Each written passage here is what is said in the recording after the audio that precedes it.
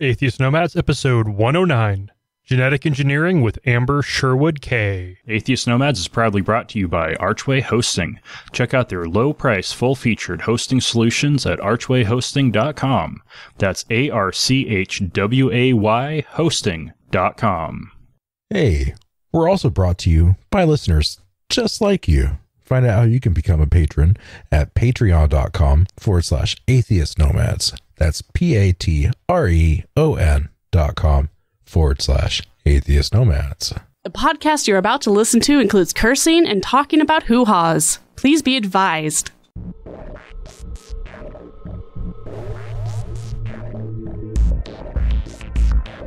We are the Atheist Nomads bringing you history, science, politics, religion, and interviews with leaders in the atheist community. Not all those who wander are lost. Welcome to another episode of Atheist Nomads. This is episode number 109. I am Dustin. Joining me as always is Wesley. Hello, everybody. And joining us today is Amber Sherwood K. Amber, welcome to Atheist Nomads. Thank you. Nice to be here. Yay. So, yeah, uh, geographically, I, I think you're the, the closest to me of any guest we've ever had on the show, yet it's only taken us three years to get you on. if I had a very good throwing arm and a rock, I might be able to hit your house from here. That is a true. Wow. Man. That's pretty damn Oh, close. boy.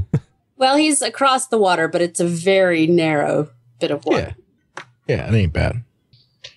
yeah, I bump into you way too often, but it's all good. And for those of you confused, Bremerton is a small town, Oh, yeah. small little Uh, navy town. hey, we got uh, like 40,000 people. If the ships are in, Yeah. Yeah. it goes down by ten thousand if the uh, if the aircraft carriers are at sea. and apparently, once they come in, all of the OK Cupid uh, accounts in Bremerton just go silent. Yeah, so I've noticed. Wow. Yeah. That- that is totally a thing. Yeah. Oh, yeah. And I think Bremerton has the distinction of having the most regularly variable population by percentage. Pretty there might be some colleges that have college towns that have a, a slight edge on you, but at least for for the size of city, pretty damn good. Well, that's pretty much any t- Navy town. Uh, Honolulu, I'm sure. Uh, well, Pearl. Honolulu is a lot bigger than Bremerton. And it also probably doesn't have. I mean, Bremerton doesn't have much of a tourist base, Yeah. Yeah. as I'm sure Honolulu fills in a bit that way. Come on. Are you saying people don't want to come here for all the, the great art? People that live here don't want to come here. Yeah, and I, I've been to Bremerton a few times, and it has always been to see people. Uh, MXPX likes it here. Fuck, come on. I They love it. wrote about it. I I used to make. I grew up on the other side of Seattle, and I used to make fun of Bremerton, and I lived here for 15 years, and I love it. Yeah, really but weren't you from loves- Kent? Uh, Issaquah. Oh God, the land of the blue eyeshadow. Okay. yeah, the electric It's blue the- eyeshadow. And you're talking trash about Bremerton. town in uh, in King County, actually. Yeah. So reg- regional issues here. All right, this is Mhm. awesome. All right, so Amber, uh, what's your your background? Well, as I said, I'm from Issaquah. Um, my background is uh, I actually grew up after after high school. I moved to Seattle, lived there for 15 years, and uh, worked in the restaurant industry. And uh, just out of you know necessity, and did a lot of traveling. But I've always been interested in science. So uh, eventually, when I settled down and had my oats sown, uh, I went back to uh, university and I got a bachelor's degree in botany, and I'm still working on my thesis for my master's in uh, science in the public from uh, SUNY Buffalo, which is actually a CFI program as well. Oh, cool. Uh, so that's what I'm doing right now. So basically, I'm a science communicator, former scientist. I ran a an orchid lab for eight and a half years, and uh, and now I'm just kind of working at being a better science communicator, and uh, and I run uh, or organize um, Kitsap County Skeptics and Kitsap Atheists and Agnostics uh, with Wes. um, which is actually kind of been a really successful enterprise, I think, here in this county uh, for people don't feel um, very comfortable. I mean, Kitsap County is supposedly the the most atheistic county in the United States, though I think that people that live here probably don't really recognize that much because we do have so many military here. Yeah, um, I, it's just it kind of blew my mind when they said that. like, but everybody in the Pacific Northwest is well pretty individualistic. We're not real joiners. So um, I think it's I think most atheists in this uh, in this neck of the woods are uh, are pretty you know solitary and not and not community focused. And I and it, we kind of had a, a, a dearth of people uh, or of uh, places for people who weren't churchgoers to uh, find community and. Um, so Andrew Lindsay actually founded Kitsap Atheists. What was it? Five years ago, Wes? Yeah, yeah, about uh, that. About five five years ago, almost six, I guess. Um, and then he moved on, and and we took over. And uh, uh, uh he didn't die. He just he, didn't, know, he moved. He didn't shuffle off this mortal coil. Right. He he moved to Bellingham, so hmm. he's still around. But and uh, were you raised religious? Um, hmm, that's hard to say. Um, yeah, in many different ways. Uh, my mother married into four or five different religions growing up. So, right. We went to a lot of different churches. We went to Christian churches and Mormon churches and Catholic churches and Lutheran churches.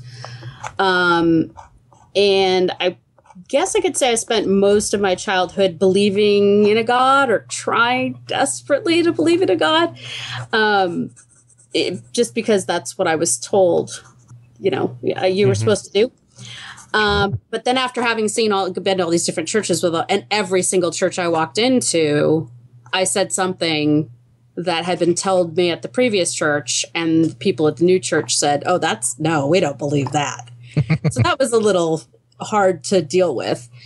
And then um, in high school, uh, I actually got involved in Young Life, which is a oh, I think non-denominational really? Christian youth group, and I went to um, Camp Malibu up in the Queen Charlotte Islands up north in um, in BC, and it was amazing. It was an amazing place, and it, it, was it was a lot of fun. And I think it was directly after I got back from that that I realized that I couldn't believe. they kind of deconverted me, and nice. now I realize that this is just really a place for rich white people's kids to go have a vacation. I mean, I have, I literally have friends that I went to high school with that are actively involved in this. And so I don't want to say anything bad about it because it wasn't a bad experience, but it was an incredibly privileged experience. Um, and then once I was no longer privileged, I kind of kind of moved away from that. Hmm. okay that's, a, that's an interesting route to go on all of it. yeah, it was interesting. Uh, oh well, after after I kind of became like emancipated, I guess you would say, uh, from my parents, um, and I didn't believe in God anymore. I kind of went on this journey to find out what was the truth. Um, hmm. So I went through everything that you can possibly think of, you know, Kabbalah and concentration and meditation and witchcraft and everything I could possibly get my hands on. I read because I thought, well, I desperately thought, well, something, I have to believe in something and something has to be true. Um, and then I think I was, I don't know, in my mid 20s, I guess, when all of a sudden it occurred to me that I didn't have to believe anything. And then I, it was just like, this lifting of you know this huge lift off my shoulders of this weight off my shoulders that oh wow you know i don't have to believe anything. Like there's no reason that i have to believe anything. I can just not believe in any of this stuff. And it was like pretty fucking refreshing. everything was great after that. Yeah. Why did i have to go through all this? Why didn't someone tell me this when i was 12 and the funny thing is i don't think anyone in my family believes in anything. but it's like this social thing. Like everybody believes and it would be rude not to. So we'll just, you know, it it was just like we don't talk. I asked my mother once, probably in my early 20s, if she believed in God. She said it's none of your business. like my family does not talk about religion. It's just and I swear to God, so to speak, my grandmother is an atheist, but she will not admit it. No. we just don't talk about it. It's whispered. Man, Oh, wow. is your family from like the the Northeast or something? Because that's the two things they don't talk about is like religion and politics. No, my grandmother was native. Um and her, Oh, s- So her- she was born in Issaquah. No, no, no, no. Um, in the in the Midwest, uh, in uh, in North Dakota, uh, and her her she married an Englishman, so her family wasn't. Happy. Well, her family wasn't religious, and they married, and they just kind of they moved off the reservation and passed. So they never really had a tradition of religion in the family, and we just there's a lot of things that we don't talk about in the family, like not being white Yeah. not being religious, all these things we don't talk about. really, you're you're just about the whitest person I know. I could not be whiter. Seriously. Yes. Yeah. that is funny though. All right. So with the the science communicating, is there uh, any particular focus you're you're taking with it? Um, well, I started out, I, I've been working on um, pro science and mostly um, pro genetic engineering for the last, gosh, I guess it's been about five years. Um, in answer to the weird, I can only describe it as weird anti GMO uh, sentiment uh, that I, you know, came to realize eventually was an organic industry kind of Uh-huh. propaganda thing. Um, So they're they're industry shills. Oh well, I don't think no, no. I mean, I, I want to be I want to be fair. There is plenty of evidence that the organic industry designed the anti-GMO movement as a way to shut down basically genetic engineering and to increase organic industry profits. I mean, that's clear. Mm-hmm. However, I don't think that the majority of anti GMO people are shills at all. I think they truly believe that there is a that A there's war. a danger Mm. from these uh, the, from these scientific tools. I truly and I truly believe that they believe that Monsanto is trying to control the world's food supply. I think Right. they've been um, brainwashed basically into believing this. And, you know, six years ago, I was anti Monsanto. I thought, well, oh, look at the horrible things they've done. You know, I wasn't really anti genetic engineering. You know, my degree's in botany, so I, you know, was kind of familiar with the with the uh, with the technology. But I, I I believed it as well.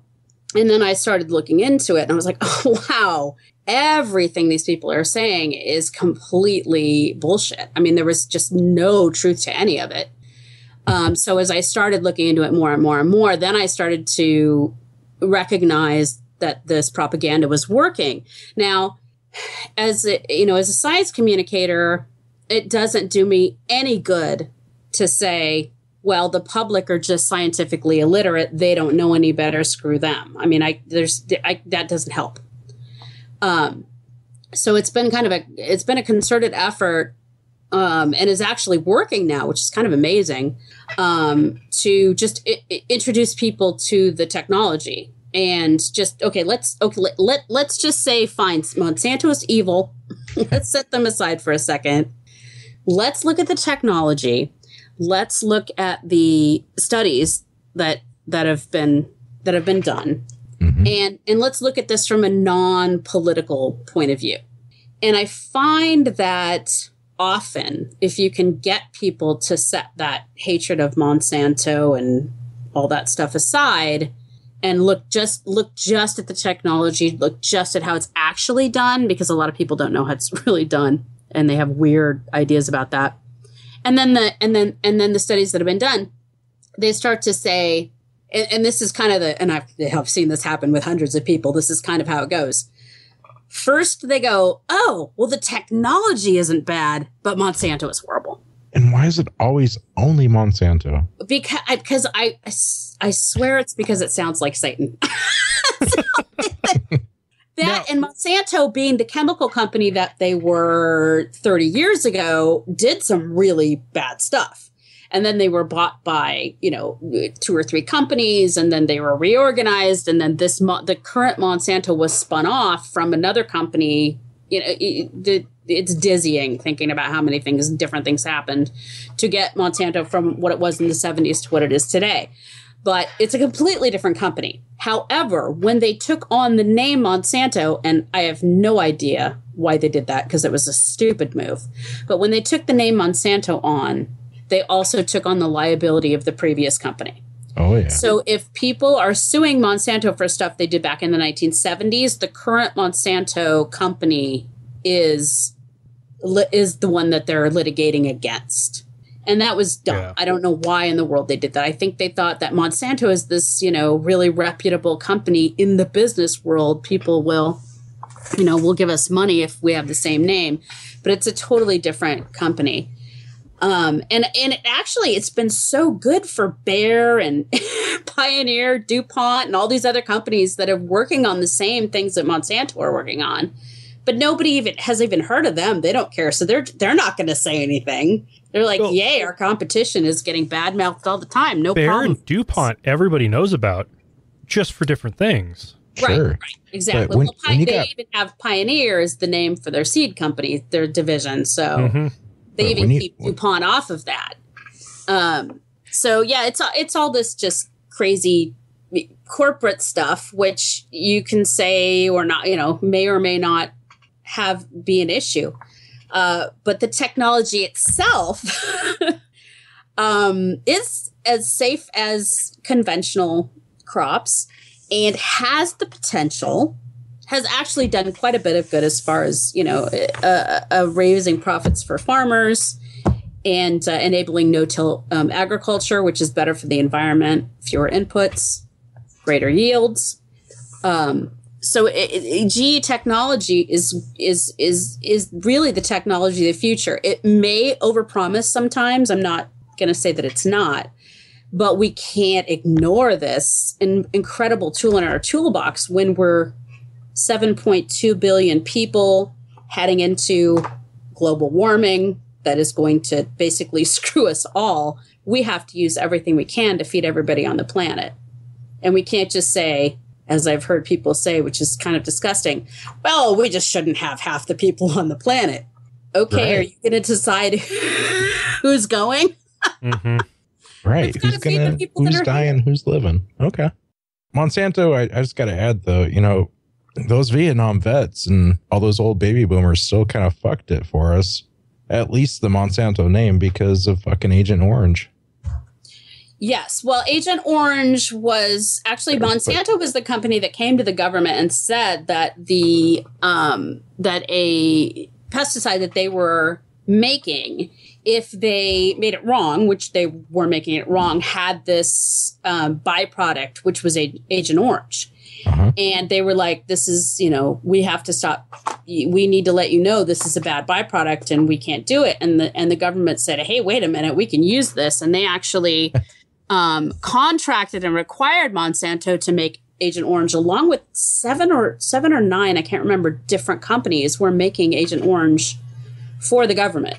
Um, so, uh, I mean, yeah, it was bad, but they didn't really have a choice. And I hear a lot that um, uh, 2,4-D, which is the pesticide that they were trying to make that has the uh, the Agent Orange uh, byproduct is actually a decent pesticide, and they're starting to use it more because Roundup is becoming resistant. Uh, herbs, are becoming, plants are becoming herb, er, resistant to Roundup. 2,4-D is a decent pesticide. If you make it properly, there is no Agent Orange, so it's not that big of a mm. deal. Um, but because this is all kind of wrapped up in this big conspiracy theory that Monsanto is making it. So now people are saying that Roundup is Agent Orange. Oh which is completely ridiculous uh, as no no bearing in fact whatsoever. But you you see it a lot on, on with people who don't really know um, anything about genetic engineering, except that you know, well, GE is bad because Roundup is Agent Orange. That's kind of how they look at it. Wow. It's a lot of lot of scientific ignorance out there. We love hearing from our listeners. You can email us at contact at atheistnomads.com, tweet us at atheistnomads, send us a message on our Facebook page at facebook.com slash atheistnomads, or better yet, call us and leave us a message at 541-203-0666. We might even play it on the show. You can also help us out by leaving us a review on iTunes, Stitcher, or your podcast directory of choice. All right, let's let's play a little bit of, of role playing on some of the more innocent arguments from the other side. Mm. Uh, and the first one's one I used to believe um, back when I was less educated on the topic. Uh, organic food's so much safer because it's doesn't have pesticides, and genetically engineered foods are just loaded with them. Uh, no, um, not true. Um, organic foods, organic agriculture is not safe. Does not not use pesticides. It actually does use pesticides. Uh, the only thing that you need in order for it to be an organic uh, certified pesticide is that it's like from nature. But pyrethrin, for example, um, or um, Bordeaux mix, which is a carcinogen, or a rotenone is a uh, an organic pesticide. Now, rotenone is no longer al- allowed in the United States, but uh, the fact that something is an organic pesticide does not mean that it's safer at all. Uh, what matters is like it's LD50. Like, is it actually going to kill you if you use it or not? And the fact of whether or not it's an organic chemical or produced in a lab has absolutely nothing to do with that. Uh, one of the great things about Roundup is that you can be used. It will, you know, first of all, it's it's a it, it targets a an amino acid pr- uh, production path that isn't in humans, so it, it doesn't affect humans. It only affects plants, and um, so i i- it's it's much safer in that way. Now, people always say, "Oh, you douse things with Roundup." It's totally not true. You don't need very much Roundup uh, to work on a um, in a field. Uh, it's actually a very small concentration that's used. Well, and However, no farmer is going to use more than they need to because that's Oh, absolutely not. Nobody is going to use more than they need to because the more you use, the more it costs. However, all pesticides, all herbicides, all insecticides have to work against evolution. You can't stop it. So anything that you use by itself in in any amount to be uh, to to to get rid of pests, eventually the pests are going to evolve a resistance to it. There's nothing you can do about that so far. I mean, maybe there will be in the future. But right now, we're constantly just one step ahead of evolution. So there are Roundup resistant um, uh, uh, weeds now. Um, that doesn't mean we use more Roundup, though some people do. You're not supposed to. Well, it wouldn't do Now- any good if they're resistant. it doesn't do it. any good. You're going to use Roundup plus maybe 2,4-D together or another pesticide in conjunction with Roundup. Roundup. But the point of Roundup is, and everybody needs to understand this, the point of Roundup is that it enables no-till agriculture. You don't have to go in with a machine and thresh out the weeds, first of all. You can just, you plant, once everything comes up and it's at a certain it's at a certain height you put roundup on it one time and then maybe you do it one more time throughout the entire life of the crop. Rather than coming in with a fossil fuel generated machine or human weed pulling which is obviously much more expensive um, and you and by not having to to to put that uh, farm machinery over the top you're also not disturbing the topsoil. So it retains moisture. Things don't uh, the, the things that you're putting on the soil don't go so deeply into the groundwater because you're not tilling them in. Mhm. it's actually uh, organic is actually using no, no-till agriculture i- i- copying copying what conventional farmers are doing because they realize that it's so much better for the environment. Now i am not against organic agriculture at all.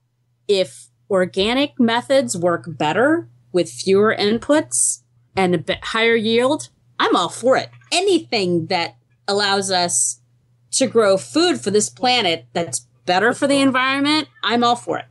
But And as I recall, doesn't organic have a much lower yield? Much lower yield. Um, 20% less yield at the hi- at the highest yields. Is organic. Now, Wow. I, it's, I I know there are people out there that are really into permaculture, and I've done some looking at permaculture. I haven't done a lot. I have not seen the kind of yields. It, it seems like this really labor intensive uh, thing that may work out okay, but doesn't really translate to a big scale. I mean, we're feeding a lot of people. And what's permaculture? permaculture is kind of the idea of mixing um, perennials and annuals together and things like nitrogen fixers with things that need nitrogen to kind of make these plantings work together. Um, but it, it- it's a great idea. I mean, it's like, it's basically the idea of taking your rainforest or jungle um, ecology and doing it with planting. But it doesn't seem to be translatable at this point to large scale plantings. So it's more of an idea of uh, moving maybe desolate landscapes into highly planted landscapes, which is great because, I mean, we all like to go to places that are you know beautiful and and and planted and look and look gorgeous. But when you're talking about harvesting food unfortunately farms aren't attractive. They're just not. And and there's not much you can do with a cornfield to make it beautiful but you get a much higher yield out of a monoculture than you do out of any other kind of planting. So uh, we're going to have to work with all these things and, and experiment. Um, but genetic engineering is the fastest most accurate targeted way we can find to get crops that work in an area uh, where we need them to work. Like with say that need less water or less pesticide less herbicide or there's a pest that's there like a like a bt crop genetic engineering allows us to target exactly what we need in an environment put it there and grow more food in that environment and we're the gates foundation is working on it in africa we're working on it here in the United States. Lots of people, not just Monsanto, tons of tons of labs are working on these things. Um, it's not a panacea, and a lot of people say, "Well, genetic engineering isn't a panacea, therefore, no, it's not." I agree, but we can't just say we can't use this because the reasons for not using the using them are ridiculous and don't and aren't even true.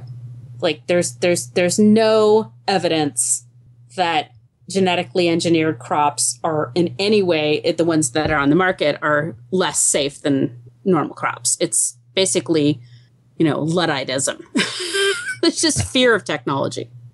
All right, let's let's move to the next uh, along the role playing lines to to keep uh, bringing up some of the specific uh, objections people have that the uh, the genes that are being added into these crops uh, they might escape into the wild.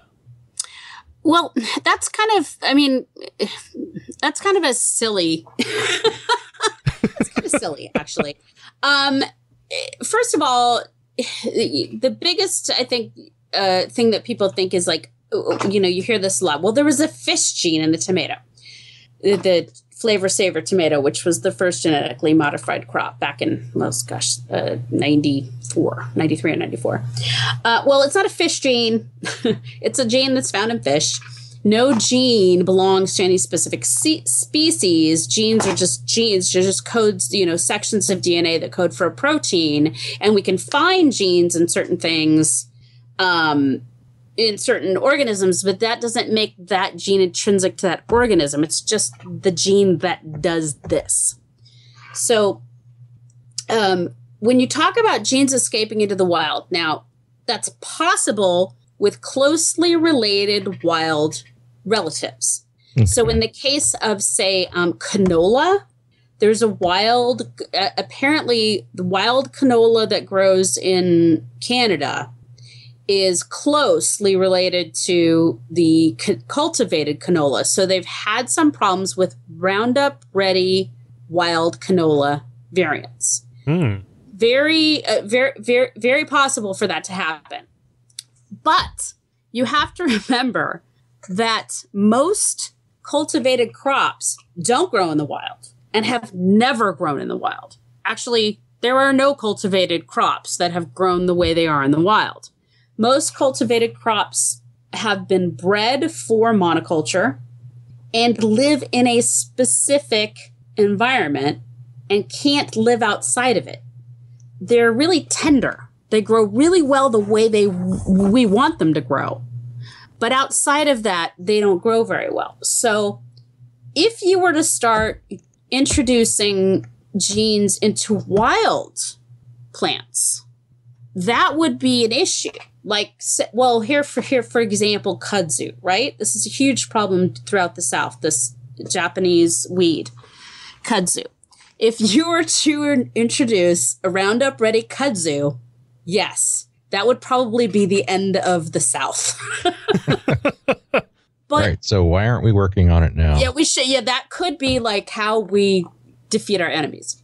But conceivably, but, you could develop a genetically modified kudzu. Oh, absolutely. To wipe out Nobody's working there. on that. but you could do it to try to wipe them out, like they're doing huh? with mosquitoes in uh, Brazil's market is putting that one out into the wild. Oh, the yes, the genetically en- engineered mosquitoes, which is a lovely idea, and they've done it, and it only affects. Uh, I've, I I can't remember off the top of my head. It only affects the male mosquitoes. Mm-hmm. So they mate with the female ex- mosquitoes that are the biters. Yeah. So all of their offspring don't have the ability to carry the disease. I believe that's how it works. I I, I can't. I not the top of my head, I can't remember. That remember particular one was ethically questionable because the I think the males could re the, the engineered males could reproduce, but their male offspring would be sterile. Right. And so right. the in theory within like 15 generations, like you could there or a certain percentage of them would be sterile, not all, because then you know it, it wouldn't be very effective. Uh, but theoretically, within like 10 years, you could completely wipe out the species. Right, which ha- can have implications, obviously. I mean, mosquitoes are part of an ecosystem. You can't just wipe them out. But it is the one species that has been identified, or not, it's not even a species. Mosquito, there's tons of species of mosquitoes. Um, they're right. able to specifically target only one species, so there will be other mosquitoes that don't carry malaria. And uh, it's like the one group of animals that, out of all of them, if you got rid of them, nothing really would change. Right. So, well, yes, and that and that's and that's where you know, that's where people have to understand. And I hear that I hear this a lot from people who are, t- but you know, you know what scientists did that they screwed up on 50 years ago. You know, uh, yeah, we didn't think we didn't think 50 years ago uh, we did a lot of stuff that we thought, oh, this could be great, and didn't think about the consequences. We also didn't really have computers back then, mm-hmm. and we didn't have modeling. So um, I'm not going to say that everything that every scientist comes up with now that they decide is a great idea is going to turn out fantastic, because obviously we don't know. But this is an issue in Europe. The the pre- precautionary principle that they use in Europe in my mind is kind of ridiculous because you have to look at foreseeable problems as a possibility and do what you can to mitigate them.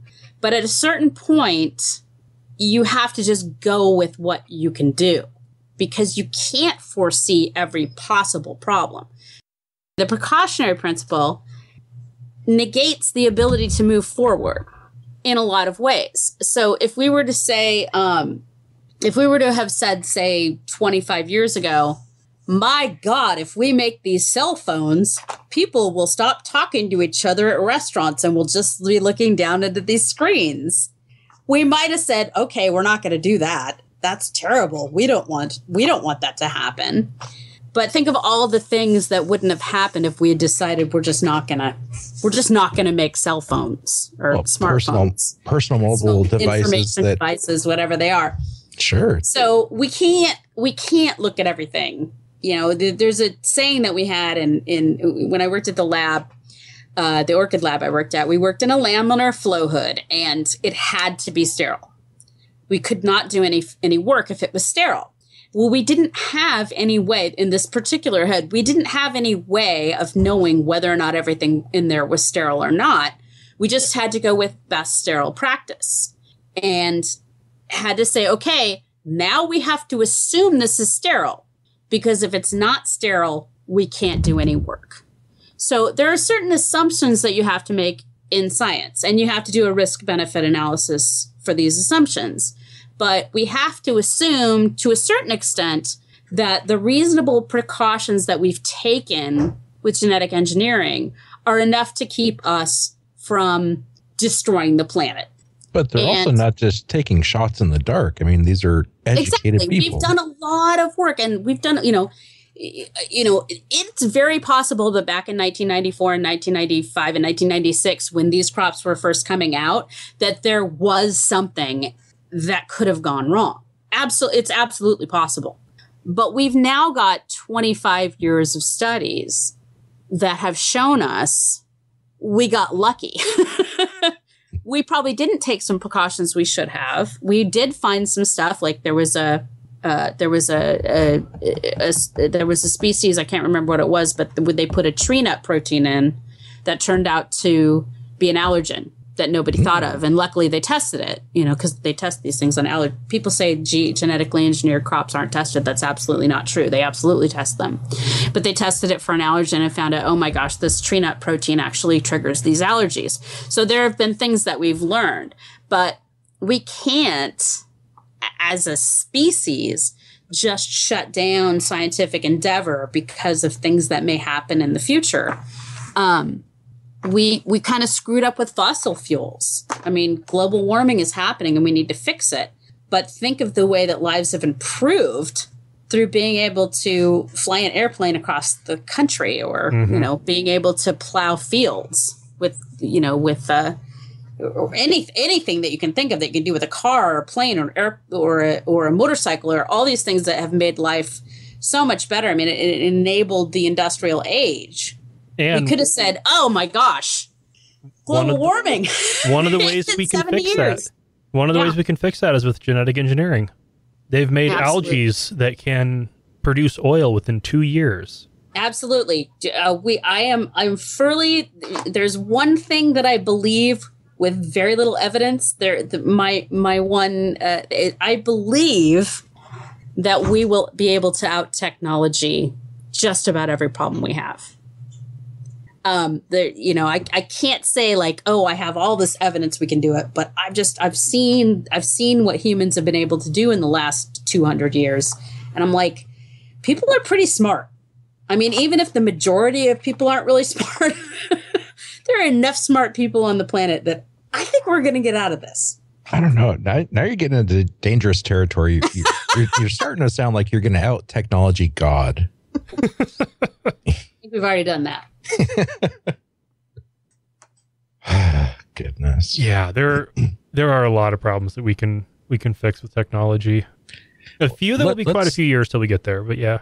If you like this show, consider giving us some financial support. We make it really easy with one time donations or to support us on a per episode, monthly, or even annual basis using PayPal or Patreon. Find out more at atheistnomads.com. Use the links on the right side of the page.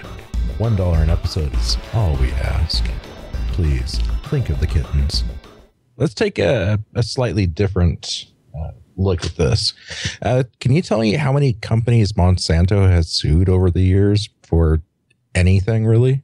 Oh well, like any individual- I don't know farmers? about companies, um, individuals. I believe there have been. hmm, I know they have sued. Like off the top of my head, I don't remember exactly how many. I believe they've sued less than like ten people a year, and I think that only twelve or thirteen lawsuits have gone to trial. Um, whereas you think like a company like Apple, they sue sue like hundred people a year easily. Um, but that, yeah, that's what's a really good point. Wes, is that people say, "Oh, Monsanto sues people all the time." That's actually not true. Um, they don't sue very many people. They never lose because they don't sue anyone unless they can lose or unless they can win. That's kind of like one of their. It's like the Powell doctrine, like going with overwhelming force. yeah. They don't sue anyone unless they know they're going to win the lawsuit. So they don't sue very many people. They only sue when they find that someone has breached their contract or is stealing seed, which people do, hmm. and they know that they're going to win. The funny thing, i- the people thing that people don't realize about Monsanto is if they sue a farmer for breaching their contract, and I should explain that uh, ahead of time.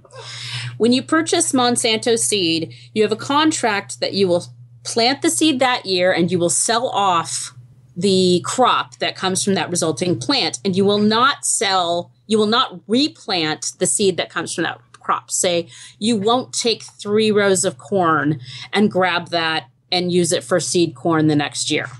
Okay. now that wouldn't that's kind of a silly um, example because you can't really plant for for other reasons you can't really plant this corn for the next year but let's just say some other crop.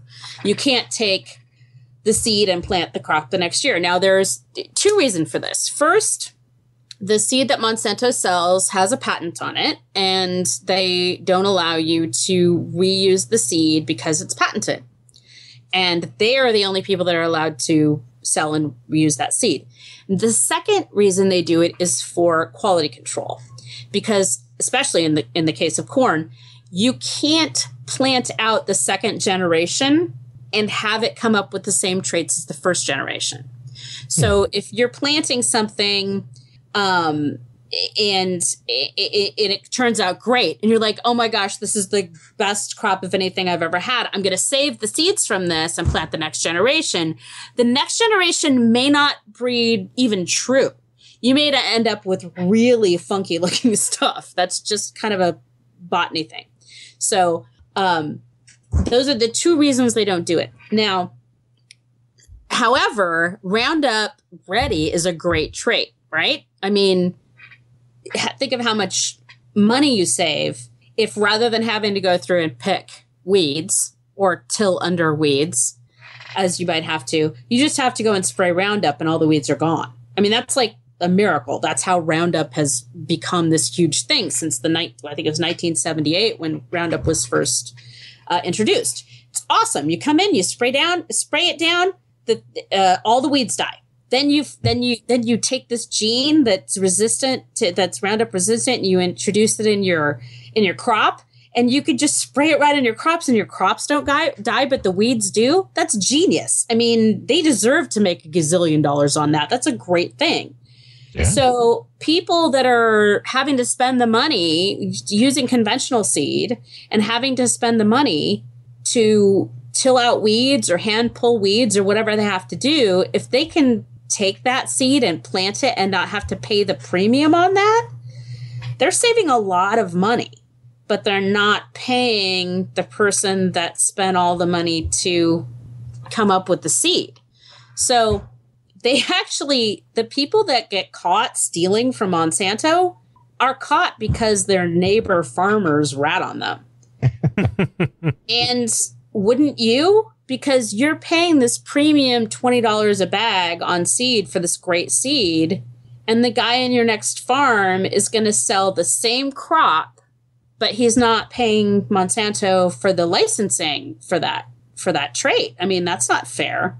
So Monsanto will come in and they will test your field, and there are plenty of of uh, of studies out there showing how much just regular cross pollination happens between fil- fields two three kilometers away, whatever it is, and if they see that your farm, your field, which is supposedly your own seed, is ninety percent Roundup resistant, but you haven't purchased anything from Monsanto, they know you're stealing seed. It's it, it's not a coincidence. It's not cross pollination they know that you're stealing it and then they can sue you and win if you've got a few roundup ready plants around the edges of your field 0.2 0.3% which is normal cross pollination Mhm. they'll not only not sue, sue you, they'll come in and remove it and pay you for what you lost in your field. Hmm. And if they do, this is this is what I love about Monsanto. Even though you know, I love the fact that a company like and people can look this up. They're they've won so many um, awards as great uh, employers of scientists. They're they, like diversity awards. They it's it's really amazing. I heard But they're an really amazing company to work for. Sorry. I heard they're an amazing company to work for. Yes, absolutely. I've never heard from anyone who are from Monsanto that didn't say, "Wow, this is they're like the best company I've ever worked for." Hmm. Middle class wages, um, and incredible diversity awards. They have the I think they have the most female members of their executive team on, of any company. Uh, they win awards in these things all the time. But the cool thing is, if they sue someone because they've been stealing seed, they take the money they win in the lawsuit because they always win and they put it towards a fund to provide um, college students with scholarships to go into agriculture. Wow. Oh, nice. they're not like taking this money and like you know Rolling around. jetting off to hong kong for you know for uh, champagne on new year's eve they're reinvesting the money into the communities of the people that they're actually like taking, you know, the people that are stealing from them. They're like, we're just going to take this money and we're going to invest it in because uh, there are so many people think farmers are just like rubes. There are so many farmers out there with masters and PhDs in agriculture. No, It- fuck. it- science is or farming is turning into a science hella quick. Absolutely. And and Monsanto is facilitating that by penalizing people who steal from them. I think it's amazing. Now, I have met a, a farmer who was a complete rube, and I was terrified that he was using GMOs because we Lauren and I were, were headed across Oregon, we were at this little diner, and he was in the, the next booth and talking about now these new crops he's using. They're just so great. They're they're GMO. Uh, it's it's general modified. I have no idea what the O is. And I let him kind of stammer for about 30 seconds. And I said, genetically modified organism. It's like, that makes sense. I don't know if that's right. And it was like, oh my, this guy, if he doesn't even know what it is, he doesn't understand what he's using, what are the odds that he's going to do it right? I'm not saying all farmers are geniuses. I'm just saying the farmers that I've met, the farmers that I talk to every day, um, you know, maybe maybe a little more technologically savvy because I talk to them on the internet, um, are really smart people, and a lot of them have degrees, and i i we get this, especially from the anti-GMO uh, uh, movement, this idea that farmers are being tricked into using GMO seed, and it's so ridiculous. Of course, they're not. They're going to use whatever best for their business. Yeah. Well, and, and that farmer in the in the diner, he didn't understand what he was using, but even though it costs a lot more money, it improved his profitability, so he was all for it. He absolutely loved it. Yeah, well, go. I would too. I mean, uh, farmers have always, I mean, that's the reason for, you know, farm subsidies. They've always worked on a on a razor thin margin. It's very hard to make a profit in farming, and um, genetically engineered crops have totally allowed people to do this. I mean, I know there are farmers out there who are like, I'm not going to use them. I'm an organic farmer. This is what I'm going to do, and I, I, it's fine with me. If people want to grow organic, I'm not all that ethically cool with them using up extra land, but whatever. If they can charge a premium for their crops, go go ahead, do that. What I'm not okay with is vilifying GMOs in order for them to make a, a profit.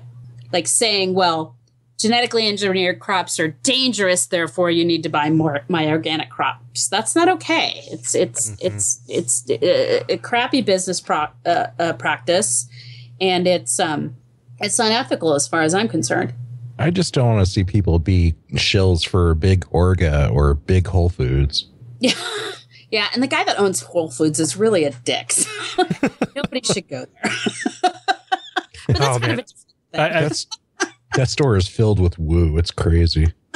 I- and so is PCC. Oh my goodness. Have you ever been in there?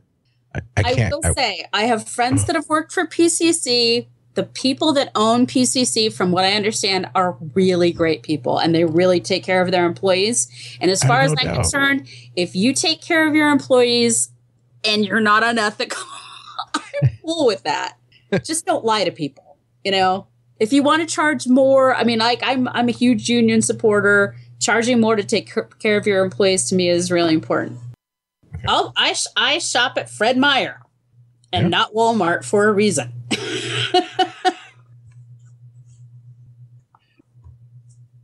Well, I shop at at um. Oh God, what is that place so close to you? Um. Winco. Oh no, Winco. Yeah, Yeah. It's a horrible place. it kind of is, but you know, it, it's They are employee owned, based out of. Boise, and at least the the Winco here, uh, they have the happiest, most efficient and productive employees I have seen at any retail establishment. Definitely not the case here. They're also the best paid. Now, the Winco here has been here forever, uh, since it, it you know it started here. So most of the employees working there, uh, the company has a, a base starting wage of I think eleven dollars an hour. Most of the cash the cashiers, again at least here, are making twenty five an hour shit.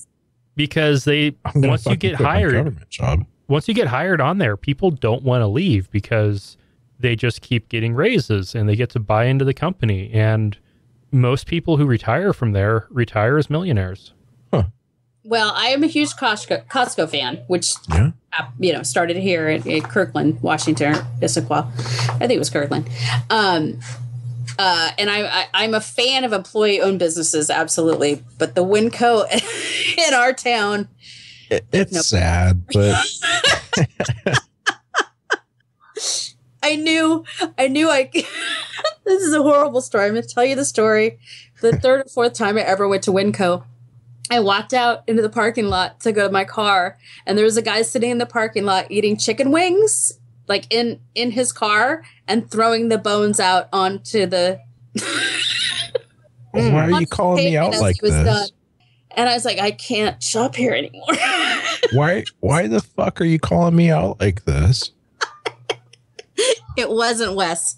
He did vaguely resemble Wes, but it wasn't Wes. I Um, like my chicken wings. it's- Come on. I love the idea of Winco. I love the idea of an employee-owned um, grocery store, but it has not translated in Bremerton. That's elsewhere. now, have you only been that one time? no, no, no. It's my local grocery store. I go there all the time because I'm I'm kind of forced to because it's close. um, nobody's happy. That sucks. Nobody, nobody, and it may be that the employees aren't happy because of the customers that are in there. That's perfectly possible. Yeah, yeah. Hmm. Wow, we got way off on a tangent. and that's just fine. Yeah. See, that's what the show is. Doing a lot of editing. Uh, uh, one thing I do want to go back to is, is Whole Foods. I got drug into the Whole Foods here one time. Fortunately, it's only been one time, and it was a shocking and horrifying experience, uh, especially eating food from the deli. I looked at the label on the sandwich I got, and like every single ingredient had words whole, organic, or natural on it. And or non-GMO in quotes. Or Oh, that was listed on there, I think, five or six times at various Yeah. places. Not, I, I think only once or twice actually in the ingredients list. But the ingredients list alone could have been so much shorter if they just wait, removed all the superfluous language. But And- it's a selling point. I mean, it is. if the organic if the organic industry realized, uh, I don't know, ten or fifteen years ago, um, that they couldn't compete with um, they couldn't compete with conventional agriculture, um, and so they had to do something special. And and and what that special was was to say organic is safe and pesticide free. Things that aren't true, obviously. Um, now there are things about there are things about organic agriculture that are actually kind of interesting if you're a wealthy person with extra money to spend and privileged. One nice thing about, and you can actually see this in uh, in farmers markets that aren't even organic, but if you're not concerned about your cost per yield, if you can add 20 to 25% premium to what you're selling, you're able to grow um, varieties that taste better or maybe are more colorful. For example, I am a huge fan of chard. It's my favorite vegetable in the world. Um, you can get red chard conventionally all the time. Uh, rainbow chard is beautiful and tastes better, but you can generally only find it organic. I will actually spend the extra 50 cents to get rainbow chard just because the way it looks.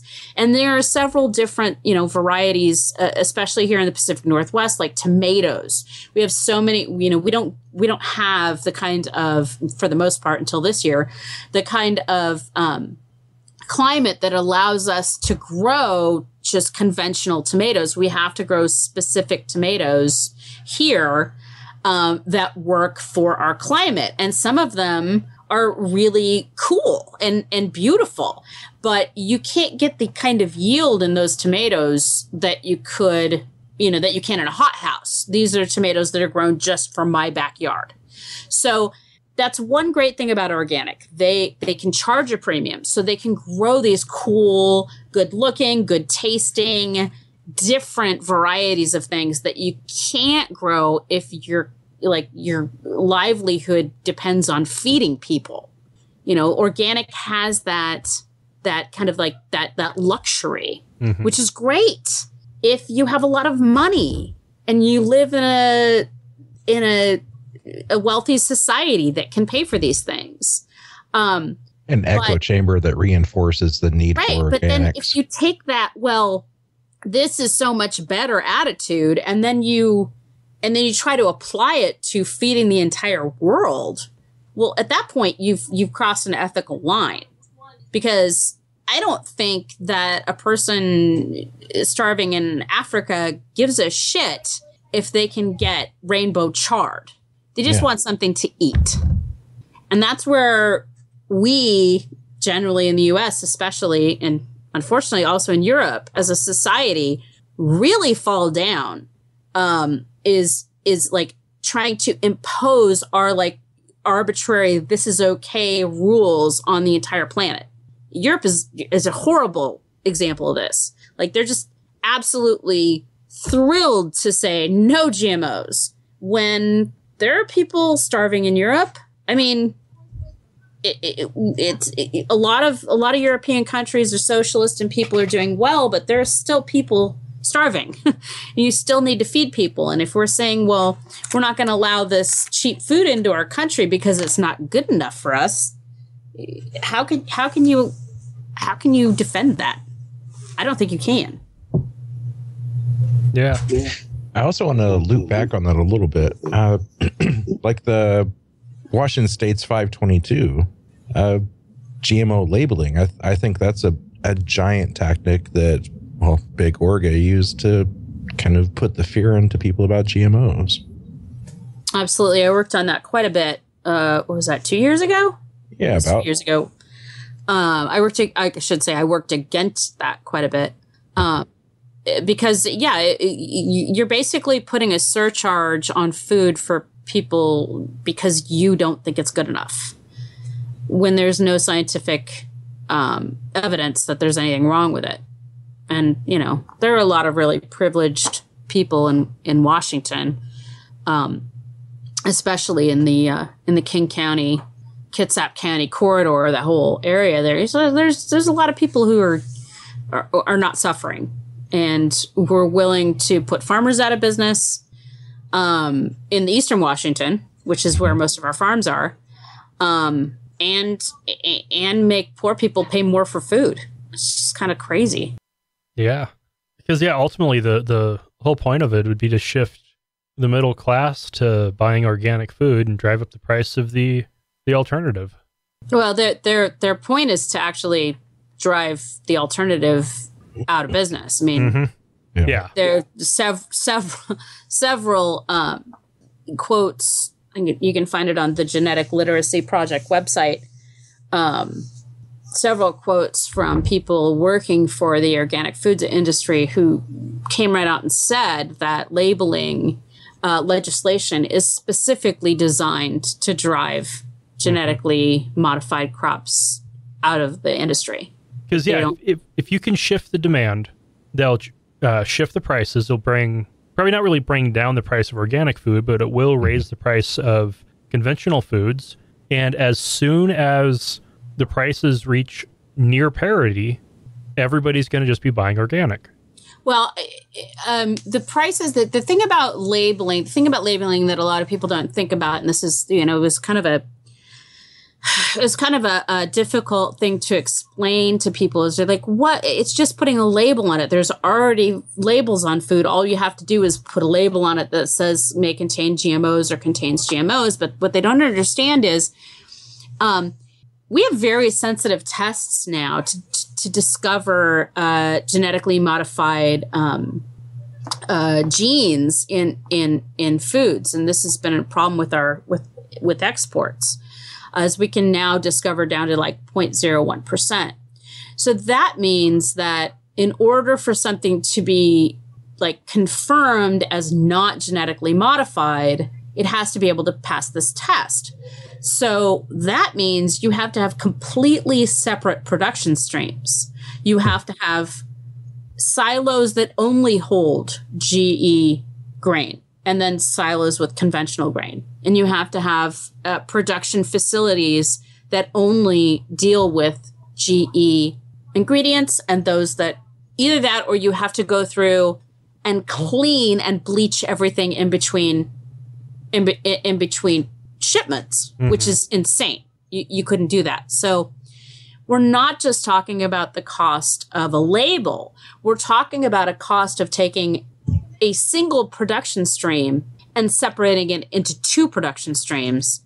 And then the cost of litigation if you happen to mingle the two. So it's not, it, it- it's an incredible cost to, to do this. It's not just the cost of a label. It's huge. Um, and so I- have always maintained that there are voluntary labeling schemes. The GMO Free Project voluntarily labels, if you can prove to the GMO Free Project that your uh, item is GMO free, they will label it and it's right there on the label. Or organic, for example, organic can't be GMO either. So if you see either of those labels, you're guaranteed to have whatever you have as GMO free. Why would you pass this cost on to other people if that's what you're concerned with? You can buy GMO free labeled stuff. Why are you forcing people who might be living on food stamps to pay for your issue with GMO foods?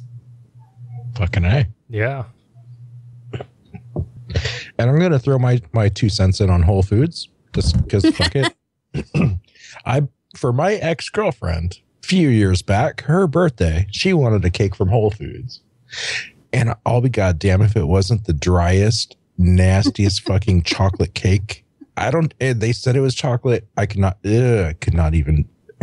I'm kind of gagging in the back of my mouth right now thinking about this dog shit pile of brown thing that was sat in front of me. God. Anyways, Well, that's why she's an ex girlfriend, Wes. yes. and why I have the most wonderful girlfriend now. You do. Absolutely. 100% agree with you there. All right, shifting gears a, a little bit. Have you seen because like two of the most awesome vaccines uh, we've we've had in in recent years have been genetically eh, produced using genetically modified organisms. hmm Uh, the most recent one being the Ebola vaccine, and another really awesome one is the hepatitis B vaccine. Have you seen any like direct overlap between anti-GMO food and anti-vax movements, or has it just been the same kind of mindset? No, I haven't seen that, but there's definitely an overlap in that mind mindset. I mean, there is definitely an over- overlap between people who believe vaccines are bad and who believe that GMOs are bad. And they're also the kind of people who believe in chemtrails and that 9 11 was an inside job.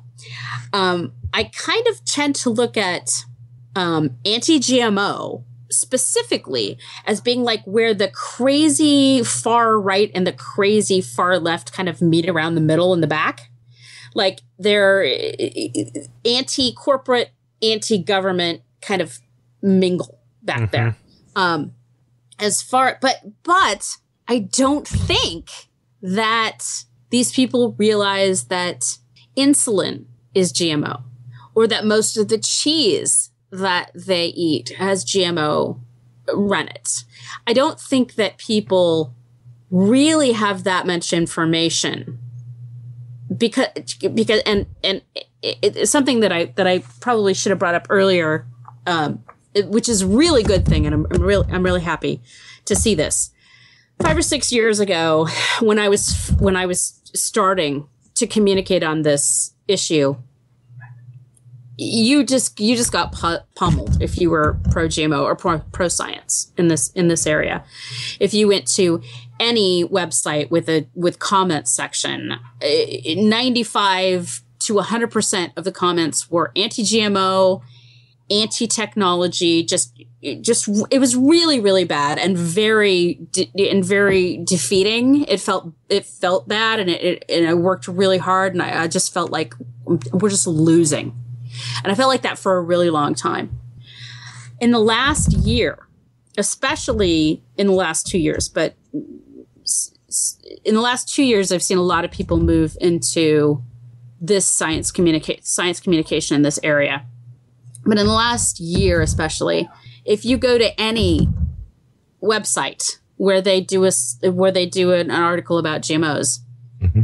well over half of the comments now are pro science. Hmm. Nice. And I would never have believed that five years ago. I mean, I thought we were just, I thought, I thought this was the end. I thought we were going to completely get rid of genetically engineered crops. That it just wasn't going to happen. And that, that the fear that has taken over basically and, and made Europe into a non-GMO. I mean, it's not banned anywhere, but it, it, it's difficult to, it's, it's ruined a lot of their, their farming, especially in Italy. Uh, Scotland Uh, is actively working to ban it.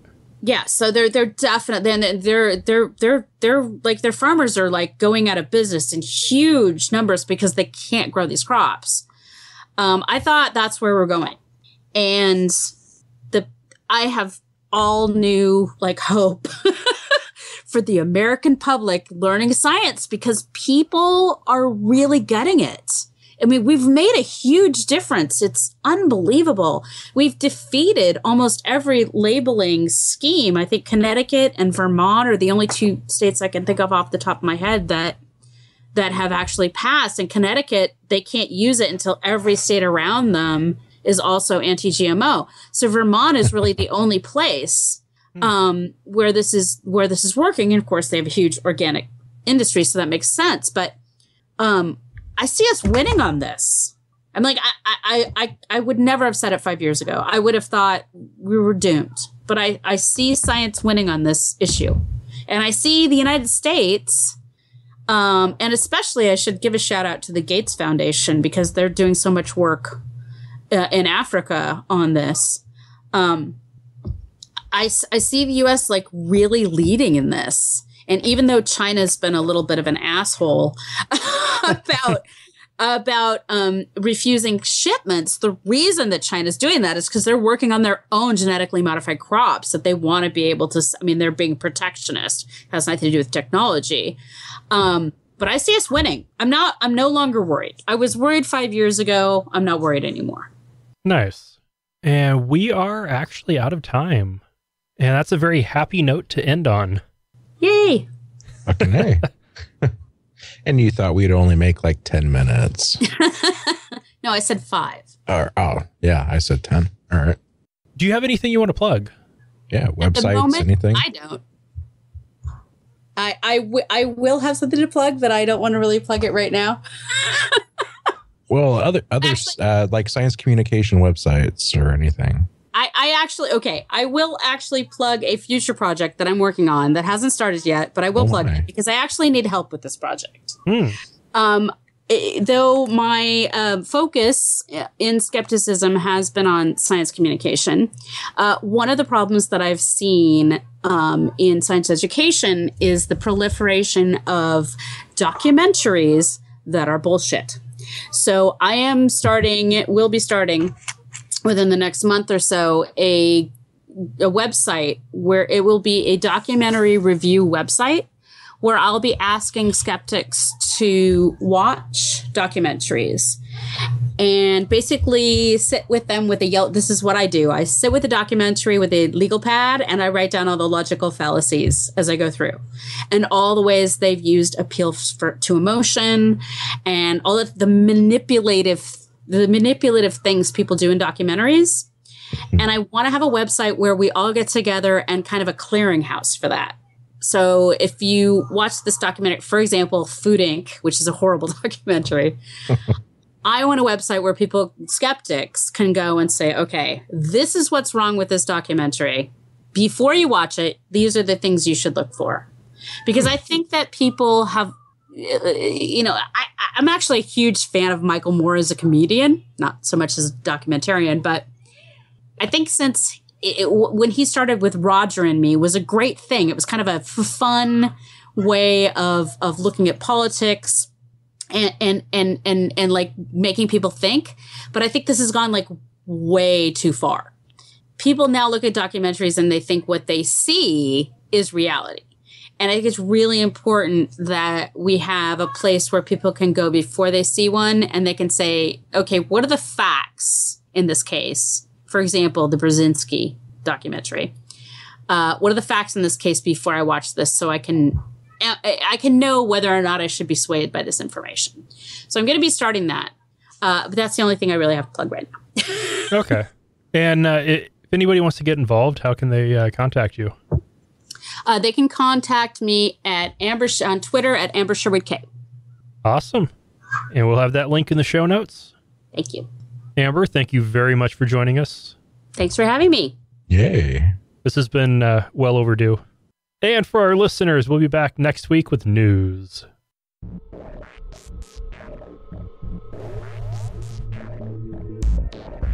Thank you for listening to another episode of Atheist Nomads. You can find us online at www.atheistnomads.com. Contact us at contact at atheistnomads.com or leave us a voicemail message at 541 203 0666. You can also like us on Facebook or leave us a review on iTunes, Zune, or wherever else you find the podcast. Until next time, this has been The Atheist Nomad.